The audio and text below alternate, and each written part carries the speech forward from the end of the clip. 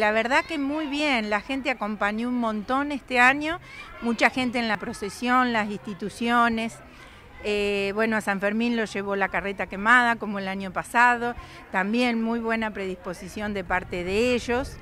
Eh, y mucha gente en la procesión y en la misa también.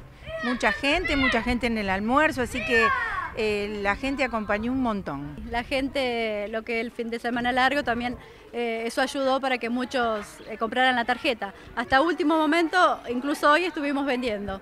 240 personas, realmente muy, muy buena venta. Bueno, tenemos em, la acompañación del señor Gaitán, que él anima la fiesta. También lo tenemos al padre Esteban que anima bastante la fiesta. Eh, estamos haciendo bingos, eh, tenemos venta de tortas y bueno, todo lo que puede surgir en la tarde eh, es para festejar nuestro día. Colaboración también, imagino, de los comercios del pueblo. Sí, todos, todos los comercios.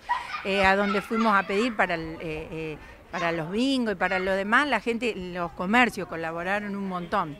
Y realmente me gustó algo que dijo el padre hoy en la misa, y es que López hoy está de fiesta. Y realmente es así. Eh, lo vimos en la procesión, en la misa, acá en el almuerzo.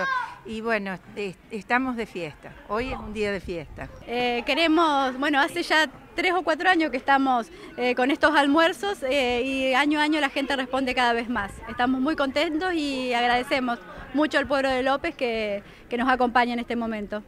Eh, bueno, yo te decía hoy de los comercios, no nos tenemos que olvidar la comuna de López, eh, las tres mutuales del pueblo, eh, todos colaboraron. Gustavo Bresi, José María Closter, que todos han aportado con su granito de arena, hicieron posible que esto se haga realidad hoy.